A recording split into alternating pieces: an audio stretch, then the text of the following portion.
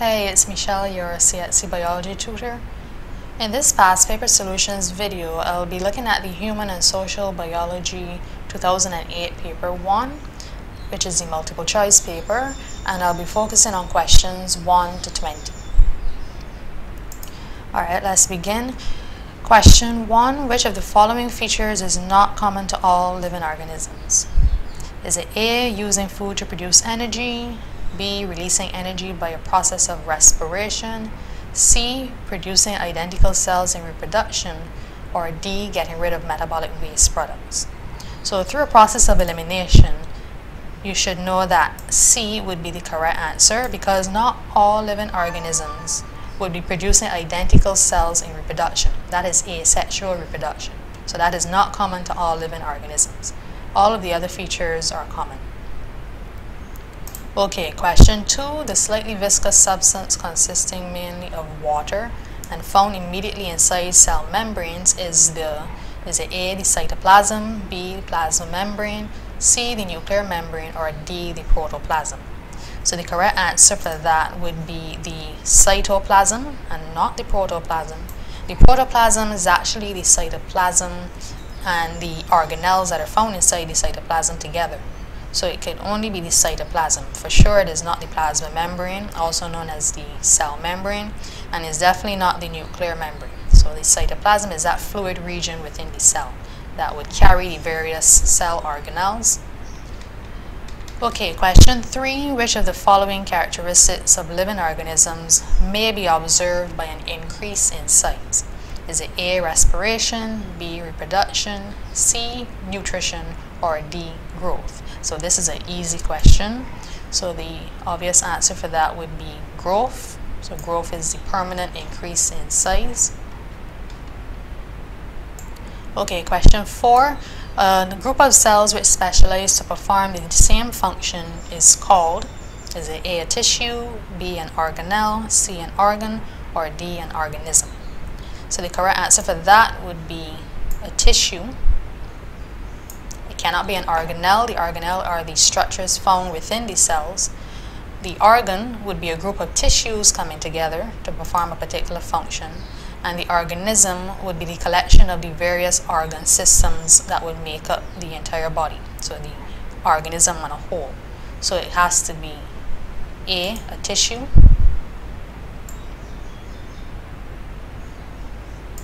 Okay, items 5 to 7 refer to the following drawing of a plant cell. Match each organelle below with one of the options above, each of which may be used more than once, once, or not at all. Alright, so for number 5, we have the chloroplast. So the chloroplast would be C.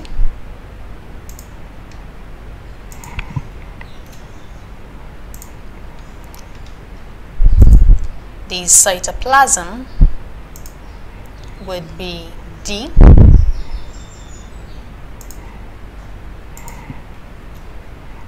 And the mitochondria would have to be B.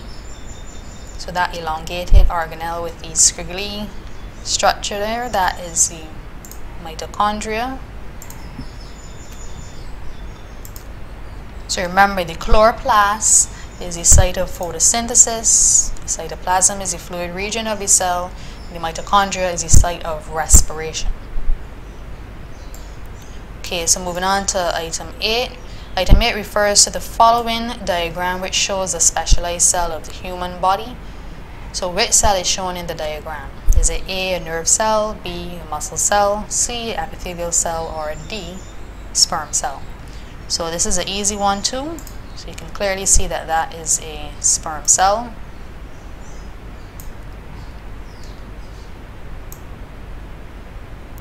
Okay, question 9. Which of the following is the correct sequence in the building process of the body? So we're looking at cellular organization. So the correct answer would have to be begin with cells. So there are only two options for that because you remember cells are the basic unit of life. So we have cells coming together to form tissues, tissues coming together to form organs, and then organs coming together to form the organ systems. So that is C, the correct answer. Item 10 refers to the following diagram which shows an experiment to investigate osmosis. So which statement best describes what will be observed after a few hours? Is it A, the level of water in the beaker will increase? B, the sugar particles will dissolve? C, the potato will shrink? Or D, the sugar molecules will diffuse through the potato? So we're looking at an investigation on osmosis. So remember that osmosis is the movement of water from where there are more water molecules to where there are fewer water molecules. So in this setup here, you should expect the water inside of the beaker to pass across the potato, which is acting as the semi-permeable membrane. And that water is going to pass across the potato and enter the sugar. So therefore you should expect the answer to be B, the sugar particles will dissolve. So once that water gets in and mixes up with the sugar, the sugar will eventually dissolve. Okay, question 11. Substances are transported through the walls of cells utilizing energy from ATP. This process is called, is it A, diffusion, B, osmosis, C, active transport, or D. deabsorption. So the correct answer for this would be active transport. From the time you hear energy is involved, think active transport. Diffusion and osmosis are passive forms of transport. They do not require energy at all. They're, they, move nat they move substances naturally on their own without any use of energy. So diffusion and osmosis definitely not, and is definitely not absorption. So it's active transport. Okay, let's look at question 12. Which joint is found at the knee in human beings? Is it the A, the ball and socket joint, B, the pivot joint, C, the gliding joint, or D, the hinge joint? So you know that your knee can only move in one direction. So that would have to be the hinge joint, which acts similarly to a door. So it's only moving in one plane only. So that's the hinge joint. Question 13. An example of a voluntary action is Is it A, the knee jerk, B, the blinking of an eye, C, dropping a hot knife, or D, turning on a light switch? So remember, voluntary action requires conscious control. So it's something that you choose to do. So it would have to be D, turning on a light switch. All the other options are reflex actions or quick actions or involuntary actions which does not require any thought. Okay, question 14. The human circulatory system transports is A, oxygen, starch, and nitrogenous waste, B, nutrients, nitrogenous waste, and oxygen, C, oxygen, hormones, and glycogen, or D, nutrients, heat, and fiber. So you really have to think carefully for this one. So we know for sure that oxygen will be transported and nutrients but there are certain molecules within some of these options here that definitely would not be transported by the circulatory system. So the answer for this would be B. So we have the nutrients being transported along with the nitrogenous waste and the oxygen. So remember the circulatory system is responsible for transporting both good substances that are useful and waste substances. So the waste substances would be the nitrogenous waste. So it cannot be option A, the starch messed that one up. Starch is a large molecule and that is not transported in the blood. Similarly with option C, although oxygen and hormones will be correct, the glycogen, once again, that is a large molecule that is not transported in the blood. And then for option D, fiber is not transported in the blood. Okay, question 15. Which group of muscles is responsible for the flexion of the upper arm? So by flexion, you mean when you know you're flexing your arm, showing your muscles. So this one will have to be A, the biceps. So the biceps is the muscle that is going to get bulgy when you flex your arm. If they were talking about the extension of the arm, it would have to be the triceps that will be contracting. So remember the biceps and the triceps, they work together to flex and to extend the arm. So they work opposite to each other. That's known as antagonistic action. Okay, let's move on to question 16. Which of the following statements best describes the function of the iris? Is it A, alters the shape of the lens, B, controls the amount of light entering the eye, C, prevents internal reflection of the light, or D, refracts the greatest amount of light? So the correct answer for that would have to be controlling the light entering the eye.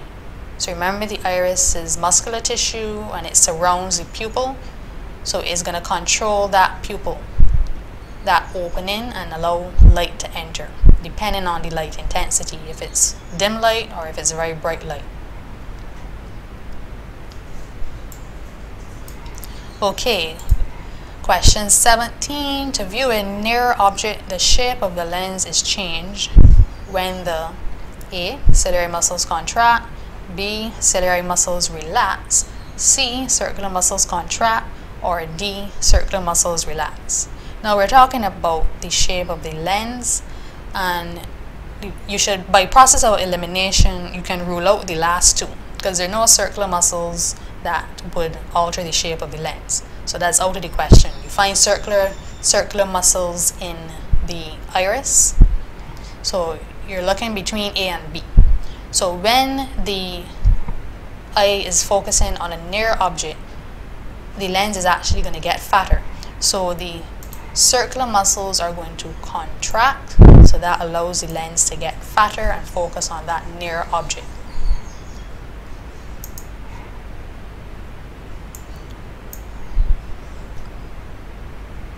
Alright, moving on to question 18. Which sequence shows the path taken by air moving into the lungs? So the correct answer for that would have to be B. So the air passes through the trachea or the windpipe, down through the bronchi, so the left and the right bronchi, then to the bronchioles, and then finally to the alveoli, which are the air sacs. Question 19. In the blood clotting mechanism, fibrinogen will change to fibrin in the presence of, is it A, prothrombin, B, thrombin, and calcium ions, C, thrombokinase, or D, thrombin. So the correct answer for this one will have to be both thrombin and the calcium ions.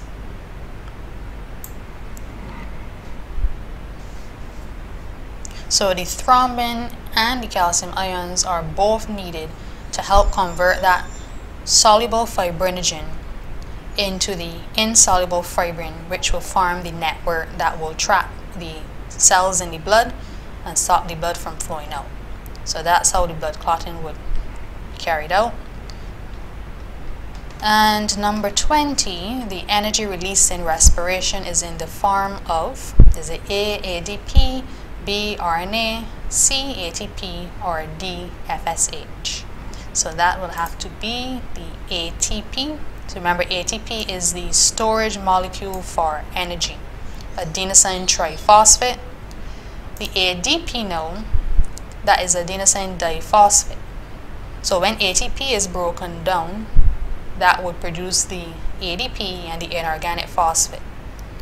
So the ATP stores the energy and releases it in respiration. Alright, so that is the end of this video, questions 1 to 20.